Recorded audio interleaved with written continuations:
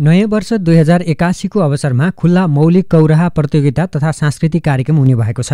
तनहुको भिमाद नगरपालिका नम्बर पाँच स्थित मिछुर्लुङ विकास समितिको आयोजनामा वैशाख एक गते मिछुर्लुङमा प्रतियोगिता हुन लागेको आइतबार मिछुर्लुङमा आयोजित पत्रकार सम्मेलनमा जानकारी दिएको छ। मगर समुदायको लोकप्रिय मौलिक नाच कौराहाको संरक्षण गरी गाउँ पर्यटन प्रवर्धन गर्ने र पर्यटन गतिविधिबाट स्थानीयको आय आर्जनमा अभिवृद्धि गर्ने उद्देश्यका साथ प्रतियोगिता गरिएको समितिका अध्यक्ष एवं मूल संयोजक नरेन्द्र थापाले जानकारी जानकारी दिए।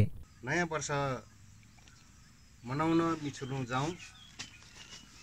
कला संस्कृति र प्रकृतिमा रमाउँ भन्ने मूल धाराका साथ यहाँ खुल्ला कौरा प्रतियोगिताको आयोजना गरेका छौँ। त्यो रोदी घरमा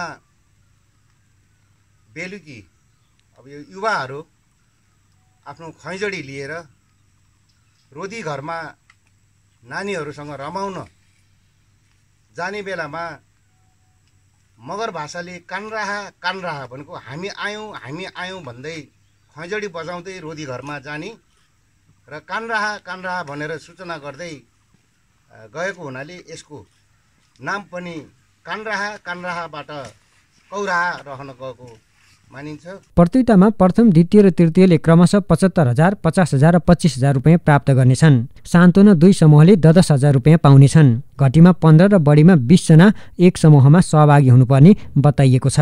सांस्कृतिक प्राकृतिक र जैविक विविधताले धनी गाउँ मिचुरलुङमा सामुदायिक होमस्टे सञ्चालनमा छ।